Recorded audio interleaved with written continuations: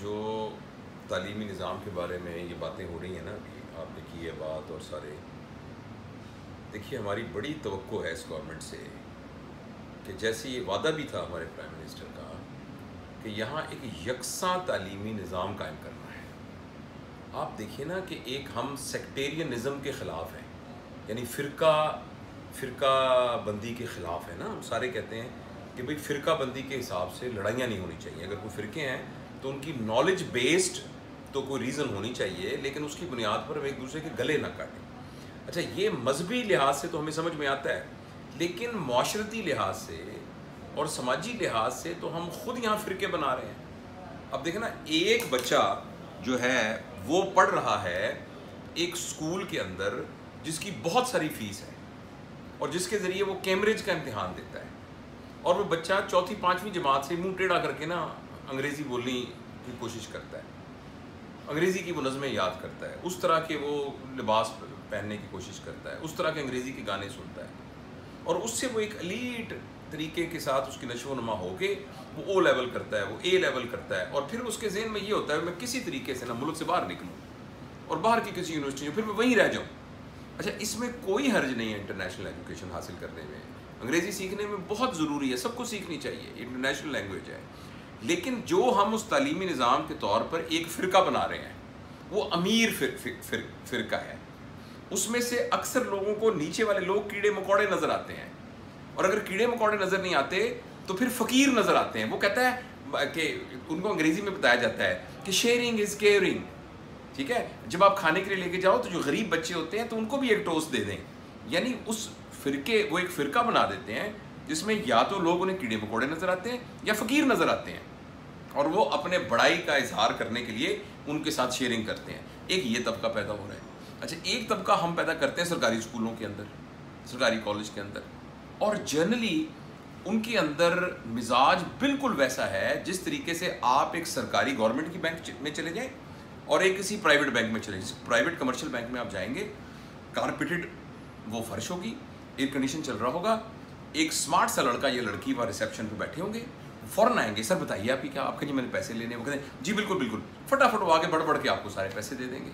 अच्छा इसके मुकाबले में आप सरकारी बैंक में किसी में चले जाए, मैं नाम नहीं लेता, वहाँ ना सारे मेरी तरह कैसे ढिल्ले से बाबे बैठे होंगे, ऐसे नोट गिन रहे होंगे, एक, दो, तीन, सत्तर गिन के फिर बोल जाएँगे, फिर कहेंगे, फिर अजान हो जाएगी, फिर सारे के सारे नमाज़ पढ़ने चले जाएँगे। नमाज़ पढ़नी चाहिए, बिल्कुल, इसमें कोई शक नहीं है, सबको नमाज़ पढ़नी चाहिए, और मतलब मैं खुद अलहमदिल्ला इसको भी वज़ू से बैठा हूँ, और नमाज़ पढ़ के आया हूँ लेकिन सरकारी काम के अंदर हम बहुत सारा टाइम जो है, वो इस तरह उसको इस्तेमाल करते हैं। तो जिस तरह उनमें फ़र्क होता है, उसी तरीके से प्राइवेट स्कूलों के अंदर, सरकारी स्कूलों में। और वो जो लोग बच्चे पैदा हो रहे हैं ना, उसमें फाइव टेन परसेंट वो होते हैं जो बहुत ही एक्स्ट्रॉर्डनरी ब्रिलियंट होते हैं। वो टीचिंग के डिस्पाइट और इंस्पाइट ऑफ़ टीचिंग जिसे कहना चाहिए, वो आगे निकल जाते हैं और वो निकल जाते हैं। लेकिन अक्सरियत उसके अंदर बुनियादी तौर पर सिर्फ़ एक मेमोरी बेस्ड तालीम हासिल करती है। हमें नज़म याद कर ली थर्स्टी क्रो याद कर ली और एक जो है ना बारखे वो जो ग्रीडी डॉग जो एक कहानी थी, लालच बुरी बला है, वो आठ दस पन कहानियाँ याद करनी, उसी पर उनका ध्यान हो गया, उसी पर हमने फैसला कर लिया कि इसके सौ में से नब्बे नंबर है। तो रट्टा लगा के वो सारे। अब वो किसी किस्म के एक एजुकेटेड पर्सन के और एक यूजफुल माशरे के मेंबर के तौर पर सोसाइटी में आते नहीं है। एक पैरल सिस्टम है और वो है मदरसों का सिस्टम और हम सब जो थोड़े बहुत पढ़े लिखे लोग हैं ना वो तैयार हैं तनकीद करने पर स्कूल मदरसों में यूँ हो रहा है, मदरसों में। किसी ने गौर से देखा है कि उन मदरसों ने कितनी खिदमत की है? और वो मदरसे जो है, किस किस्म की तालीम दे रहे हैं? हाँ ठीक है, जिस तरह हर निज़ाम के अंदर एक फर्दर इम्प्रूवमेंट की ज़रूरत है, आप उस मदरसे के को इम्प्रूव करने की कभी कोशिश की है? अच्छा वो एक और निज़ाम पैदा हो रहा है। अच्छा उस निज़ाम के नतीजे के अंदर जो लोग बन रहे हैं, वो हमारे बाकी सोशल सिस्टम के साथ मैच ही नहीं कर रहे हैं। ठीक है ना? वो मैच ही नहीं कर रहे तो ये तीन सिस्टम चल रहे हैं। और इसके अलावा ये मेरे ज़ाती ख्याल में, मेरे पास कुछ स्टैटिस्टिक्स तो नहीं है, पाकिस्तान की तीस फ़ीसद बच्चे जो हैं, वो इन तीनों सिस्टम्स में अब्जॉर्व हो जाते हैं। बाकी सत्तर फ़ीसद गलियों में फिर रहे हैं, जो इन तीनों में से किसी में भी नहीं जा रहे अब वो सारे के साथ जैसे आपके इलम में होगा अठतीस फ़ीसद आबादी इस वक्त पाकिस्तान की पंद्रह साल से कम उम्र के लोग हैं। अठतीस फ़ीसद आबादी, कितनी बड़ी आबादी है? अब ये सारे के सारे लोग, बच्चे जो हैं इनमें से सत्तर फ़ीसद स्कूल में ही नहीं जा रहे।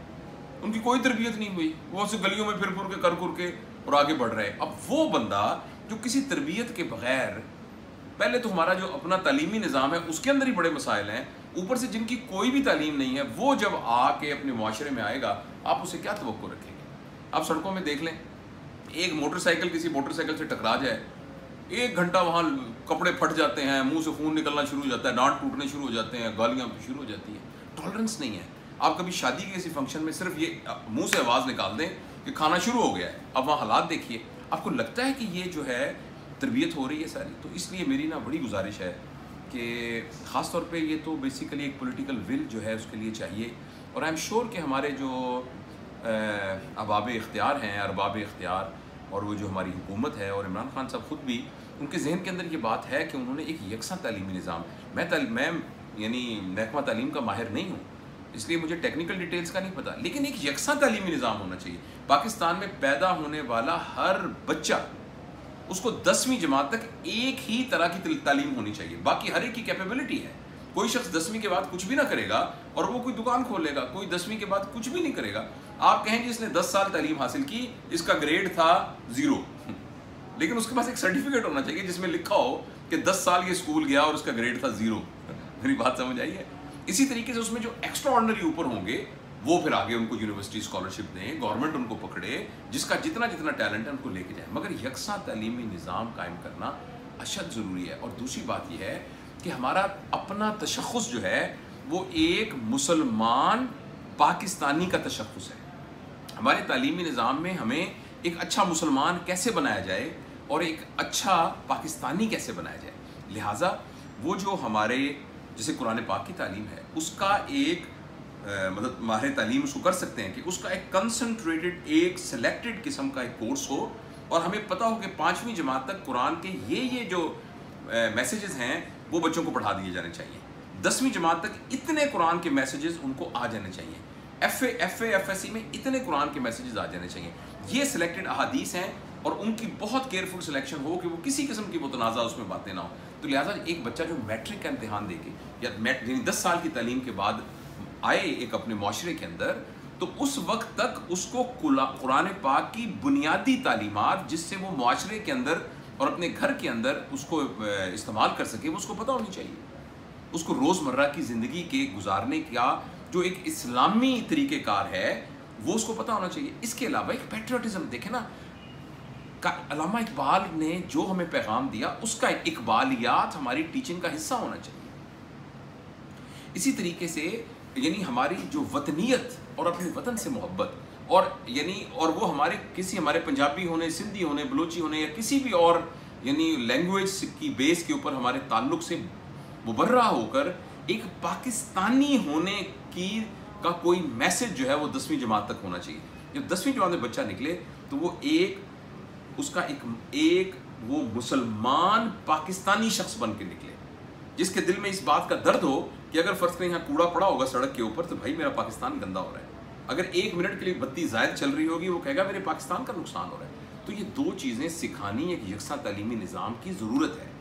तो इस सिलसिले में हमें कुछ करना चाहिए और अपने जब तक ये हुकूमत इस सिलसिले में उसकी वो नहीं शुरू होता, हम अपनी आँखें खोलें, हम अपने बच्चों के साथ ये शुरू करें। हमारे इर्द गिर्द जो लोग हैं उनको एक अच्छा मुसलमान और अच्छा पाकिस्तानी। देखिए, आप मगरब की जितनी मर्ज़ी तालीम ले लें, उसमें कोई हर्ज नहीं है। आप जाएँ ना आप देखें वलायत की ज़िंदगी कैसी है।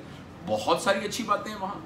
उन्होंने अपने माशरे के अंदर बहुत ज़्यादा ज़बरदस्त चीज़ें की हुई हैं और उनसे हम गाइडेंस ले सकते हैं, उनको उनको देख सकते हैं। लेकिन हमारा जो जो हमारा अपना यहाँ का फ़र्द होगा ना, वो अपना रिप्रेजेंटेटिव होना चाहिए।